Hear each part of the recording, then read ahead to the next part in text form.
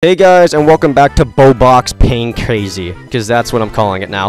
Um, so, long-time viewers may remember this thing. This is a giant railgun. It does a lot of damage. Uh, let's just shoot this white car really fast. Uh, if you want to see more from that, uh, click the video on the top right of your screen right now. But, essentially, this thing has one drawback. Because it has all the power in the world. It's all the power you could ever need. It has so much destructive force. The issue is, is that you kind of have to keep it in your plot. So if a bill goes out in the water, you have to go spawn out the water. And if a build somehow is like up in the air, a big build, you can't do anything about it. So that is why I made a pretty uh, special build. So let's check that out. So this is the build you saw in the thumbnail. This is a railgun, but it's also a rocket. So if we were to fire it, you would see the same effects.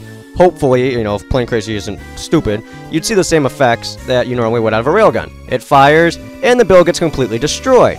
Except that this thing can also fly, and it can fire at the same time. And then if you want to, when you're in the air, you can just anchor it and then aim it like normal. So it's pretty much just like super overpowered and awesome, and uh, let's just blow some stuff up with it so I can show it, show it off to you guys.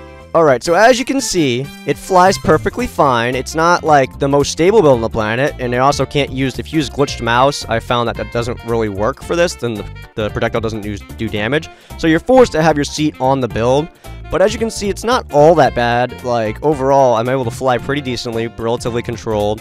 And then once we get a little bit closer, we'll fire it, and we'll see what the destruction is. You can see the entire front part of that boat pretty much got wiped off. It's nothing insane. I definitely think it does more damage whenever it's anchored. But, I mean, look, if you're flying through the air and all of a sudden you just, decimate the front of a boat like that, I mean, that's pretty damn good. So let's just reload and try again. Bang. oh, it didn't fire. Wait, I killed his character. Let's go. That counts. That counts. That counts. Very cool. I mean... Huh? What? I don't like that with the... Dude, that reminded me of like the half piston glitch. Holy crap. That was almost like the half piston glitch. He got flung into the air. Yo, this thing's like surprising me now. This this thing's op overpowered.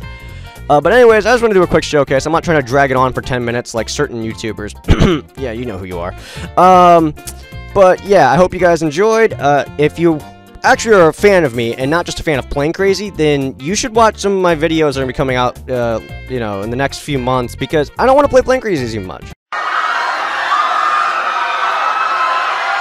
Like, there's not as much to do in this game anymore. There's not as much updates as anybody would like.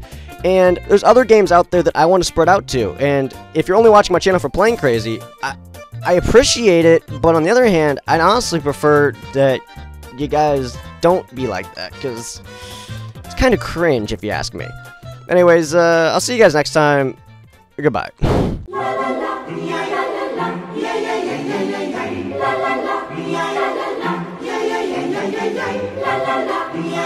la